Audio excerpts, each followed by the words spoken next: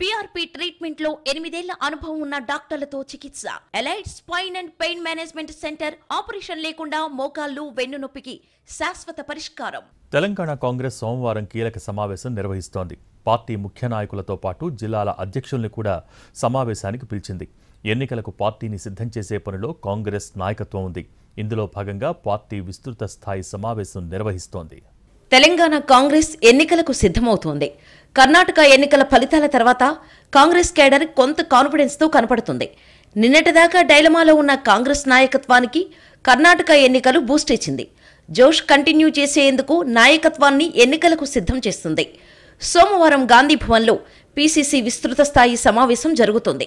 సమావేశంకు DCC అధ్యక్షులతో పాటుగా party కీలక నాయకులు అంతా హాజరవుతారు. ఇప్పటికే రాష్ట్ర కాంగ్రెస్ ఇన్ఛార్జ్ హైదరాబాద్కు చేరుకున్నారు. గాంధీ భవన్లో జరిగే విస్తృత స్థాయి సమావేశంలో కాంగ్రెస్ ఎన్నికల వ్యూహంపై చర్చ జరగనుంది. రాష్ట్ర వ్యాప్తంగా పార్టీ నిర్మాణంలో భాగంగా మండల అధ్యక్షుల నియామకాలు పెండింగ్లో ఉన్నాయి. వీటన్నిటినీ వెంటనే భర్తీ చేయాలని పార్టీ భావిస్తోంది. దీనికి తోడుగా పీసీసీ విస్తృత స్థాయి సమావేశంలో ఎన్నికల మేనిఫెస్టోలో పొందుపరచాల్సిన అంశాలను చర్చించబోతున్నారు. ఇప్పటికే పీసీసీ రెండు డిక్లరేషన్లను ప్రకటించింది. నిరుద్యోగ డిక్లరేషన్ను గ్రామస్థాయికి తీసుకువెళ్ళే కార్యాచరణపైన ఈ సమావేశంలో చర్చించబోతున్నారు.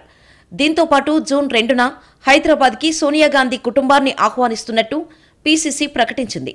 బోయినపల్లిలో ఉన్న గాంధీ ఐడియాలజీ కేంద్రంలో భవన నిర్మాణానికి శంకుస్థాపన చేయాలని పార్టీ భావిస్తోంది. దీనికోసం రాహుల్ గాంధీ ప్రియాంక గాంధీ లాగానే ఆహ్వానించినట్టు తెలుస్తోంది. సోనియా గాంధీని కూడా శంకుస్థాపనకు రప్పించే ప్రయత్నంలో పార్టీ ఉన్నట్టు తెలుస్తోంది. వీటన్నిటిపై సమావేశంలో చర్చించనున్నారు.